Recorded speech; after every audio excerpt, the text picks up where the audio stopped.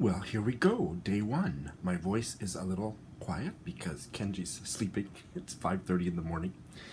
And I'm to start my day one vlog for Booktubeathon, but with some further changes to my Booktubeathon TBR. I did the page 112 test last night, and uh, it was brutal. This was awful. I am not reading this. Ever. It was crap, which was very disappointing. Cover buys don't always work out, and just to be doubly sure, I read one other page other than page 112. This is awful. This was not a surprise. I did not like the writing here either. I will not be reading this. Another surprise, the writing here was fine, but it was the most boring, well-written page 112 of all my page 112s ever. And I looked at this a little more closely, actually read the back. This is not a Shawn book. I will not be reading this. Three books off my TBR. I still have enough books, but I need... This was the one for the uh, Beautiful Spine. So I am out of Beautiful Spines. The only smaller, the only shorter books I have with Beautiful Spines, I've already read. So, I am kind of happy, but also a little bit daunted by the fact that I've gone back to Anosh Irani's The Parcel because of the length. 285 pages. I I'll do my best, but I'm really looking forward to reading it. But and it has a gorgeous page 112. So there is going to be an anticlimactic page 112 tag video coming down the pipe in a few weeks. Now you've you already know the result of that one. And let's get started, shall we? Well, too much reading this morning. I got uh, one minute to get to the bus stop, and I'm not a fast walker. but uh, I think I can make it. If I don't, if I miss it, I got a 10 minute wait, which means I can chat to you quite a bit. But anyway, the uh, making sense of Japanese is making sense. I'm mostly reading about the particles wa and ga, which are very difficult for English speakers to master. The limited Japanese I have to speak on a daily basis, I don't use subject grammatical subjects. I just missed it. That was it. Bye bye. Okay, well, I have time now. Fuck. Ah. So this sentence is supposed to say, what a lot of tasty dishes you're serving us today. Wa oishimono ga takusan arimasu ne but uh, the, the writer, Jay Rubin, said one of his colleagues said it at a dinner party. And the marker, the topic marker, wa, konban wa.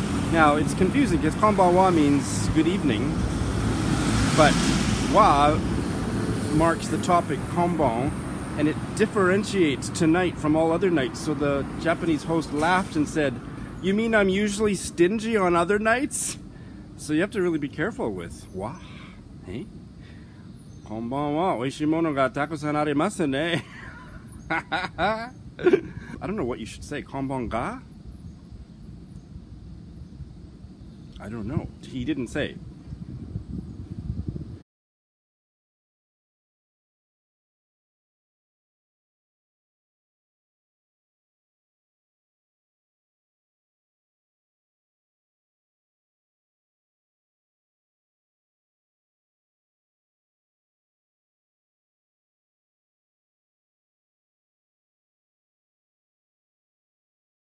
The other thing that he said that I really like is to think of wa to mark your topic as having at least in many cases the same the same rhetorical force as this famous Patrick Henry speech. I know not what course others may take, but as for me, give me liberty or give me death.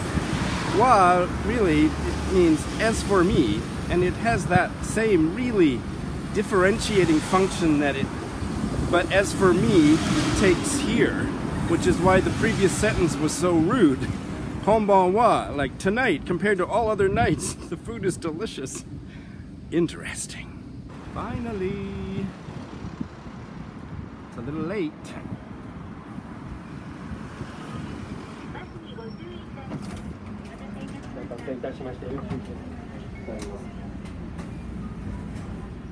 そうします。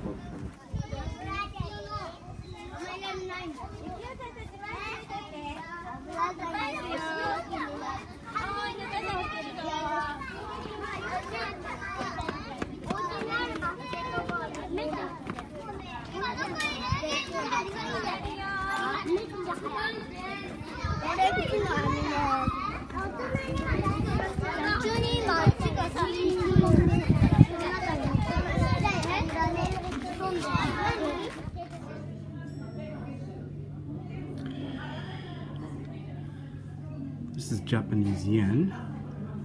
It wasn't 1500 yen that I got, it wasn't 50,000 yen. That would be between $15 and $500. It's a little closer to the lower amount than the upper amount. And I blame Steve Donoghue and Britta Böhler for this last little Amazon shopping spree before I leave the country for 10 days.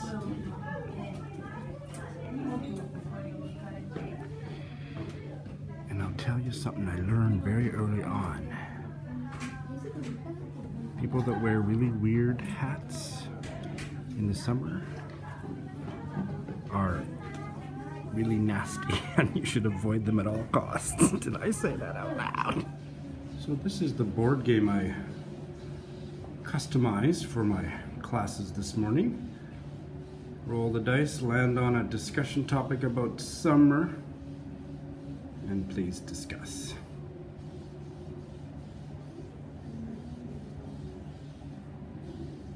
So while they are doing that, I am not so secretly reading this, which I can't. I've only got two hands, so I think you. I think you recognize the book. I'll just show you without showing anybody's faces. I'll just show you what they're doing.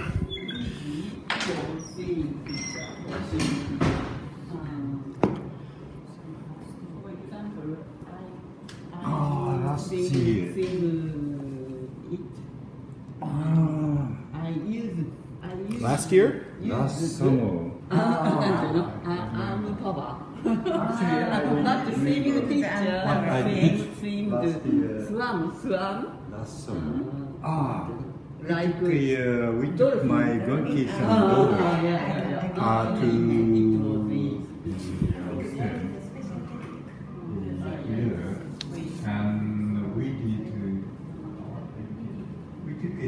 Places. And if they finish-. I have this.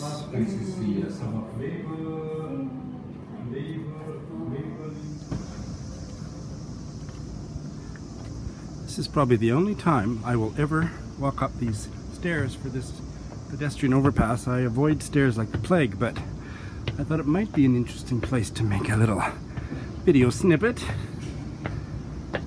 God knows I need the exercise.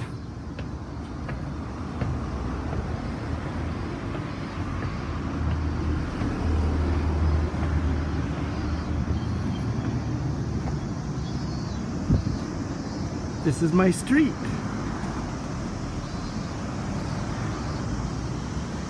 Which I can't name. There's the train yard. I've had a great reading morning even though I was at work. I read quite a bit more of the Japanese language book and uh, finding it really interesting. I'll have more to say about it. I'm not going to spend too long on this hot pedestrian overpass in the sun. But just a little bit about Lord of the Flies.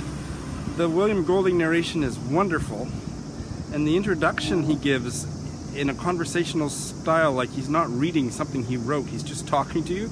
And then the transition into him reading the opening paragraph of the book was just marvelous. Felt like I was sitting in the living room with him.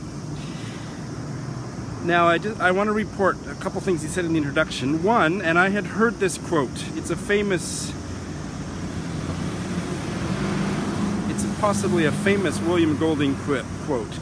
And it starts out where you think, what the, what's the old geezer going to say? Because it starts out, and I'm, this is a paraphrase, but it goes something like this. Women are so damn foolish to argue that they are equal to men. That's just nonsense. They are far superior to men. Now that, uh, you maybe heard that quote. I love that, and I'd forgotten about it. And so he says it in, right in my ear this morning on the bus, on this very street. But then he goes on to talk about why didn't he have, why wasn't Lord of the Flies a mix of genders? He said he wanted to avoid any kind of sexuality in the book. Well, you don't need two genders to have sexuality in the book, and I'll be interested as I reread it to see if I pick up any sexuality among these boys. And he said, and in terms of why not women, he said, well, it's a good question. It would be a very interesting story. And again, I'm very roughly paraphrasing what he said. But he said it wouldn't be a metaphor for human civilization. It would be something far different. And he said, then that's just a fact. And he said, I'm going to get into trouble for saying that. And then he went on to say, and women are so damn foolish for uh, wanting to be equal to men, they're far superior to men. But he said it would be a very different story. So I will let somebody smarter than me take on uh, some of the possibly problematic aspects of those comments. But moving on, I've just fallen into the audiobook. I'm going to start walking. It's really hot. Uh, I've just fallen into it and just, just the language, it's so lush. It's maybe my third time rereading it, but the last time was probably 25 or 30 years ago. And uh, it's just the gorgeous prose, and I remember the story so well. It's just like kind of coming home. Think it's going to be a very successful reread. And the fact that William Golding's reading it to me in my ear is just wonderful. That's all for now. All right, this is the last part of my wrap up, and I'm still playing with the lighting in my living room. I haven't quite figured it out. Maybe I kind of like this lighting. We'll see what it looks like once I once I edit it. But I love the lighting in the bedroom. But for some reason, Kenji wanted to air out the bedroom, so he's got the air conditioner off and the patio door open. So I'm not going to be filming in there today. Ah, what a day. What a fabulous day, actually, reading wise. I just finished this book. It was a four star read. I really enjoyed it. It didn't make me instantaneously fluent in Japanese like I was hoping, but it gave me lots of good tips. And it's a short, very clearly explained guide to making sense of Japanese that I will refer to for the rest of my life here in Japan, I'm sure. And really well written with humor and very clear explanations. I liked it a lot. One of the things that, and again, Jay Rubin is Murakami's translator as well as other. I think he does other translation, not just Murakami. But he's also a, a Japanese teacher. And he makes a big deal in this book about the fact that it's a mistake to translate Japanese sentences which appear not to have a subject into passive constructions in English. So I'm not going to go into the weeds here. But he says in 99% of the cases, there's a zero pronoun or a zero subject which you need to reinsert when you translate. But and he uses as a really uh, sobering example the inscription on the monument in Hiroshima to the victims of the atomic bomb. And it is, I'm not a great pronouncer of Nihongo, but not bad.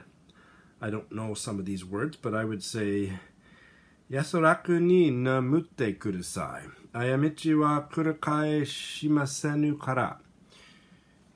Most English translations of that are, Rest in peace, for the mistake will not be repeated when in fact the correct the correct translation of the Japanese it's not a passive sentence it's will be repeated the mistake will be re, will not the mistake will not be repeated that's a passive sentence that's not correct it should be rest in peace for blah blah blah will not repeat the mistake It's a zero pronoun. He keeps calling it a zero pronoun, but it's there grammatically. It's impl- it's implied, and so then the question becomes, who will not repeat it? Japan for starting the war, the Pacific War, or America for dropping the bomb? That is left open to question, but somebody is responsible, and somebody will not do it again. Just interesting, eh? Not beyond language, it's just a larger implication of active versus passive sentences. The grammar geek in me was just had a hard on for this book. I would never say such things, but I think Jay Rubin is entitled to voice his own opinion, and he says kanji is so stupid and should just be abolished. I don't have an opinion. I was shocked that he he only gives half a page to kanji, and he says kanji is ridiculous, and there's only a few sounds in Japanese. If you just get rid of the stupid kanji, it would be such an easy language to learn. Wow. Okay. Interesting. Maybe that's all. That's enough. This is quite a long vlog. Really enjoyed that. I'm loving Lord of the Flies, and I've listened to about a fifth of it, so I'll easily finish it over the span of the booktubeathon. And I'm gonna post the day one vlog now, and if I have any time or energy left over, I'm gonna get a start on this. Anosh Irani's The Parcel. As I said at the beginning of the day, I was I bumped it because I thought it was too long, but it's the only beautiful spine that's passed the page 112 test. So, and I, I know I, I just have a pretty pretty strong feeling I'm gonna love it. Page 112 was stunning, so I have a good feeling about it. So I will be talking about this tomorrow, and I'm also tomorrow's plan is to read Donal Ryan's new novel. I keep forgetting the name. From a Low and Quiet Sea, I believe. I made kind of a joke that nobody caught when I mentioned it in my amended TBR. I was saying, yeah, it's been in the news lately. I can't remember why, but if yes, of course I know why. I'm just de-emphasizing that literary phenomena on my channel, tongue in cheek. So you don't need to point it out to me. I'm well aware of why everybody's talking about it and reading it. I adore Matthew Sciarappa, and our literary tastes are so opposite that I after I didn't watch his review because I'd like to read the book first, but I watched enough to know that it was a thumbs down, maybe even a bail. So if he didn't like it, I probably will. We'll see. Anyway, it's been a fabulous day one, and that's all. More tomorrow. Tomorrow's going to be a great day because my morning class is canceled, so that means I don't start working until 2 p.m. So I'm going to read my tits off or something. See you tomorrow.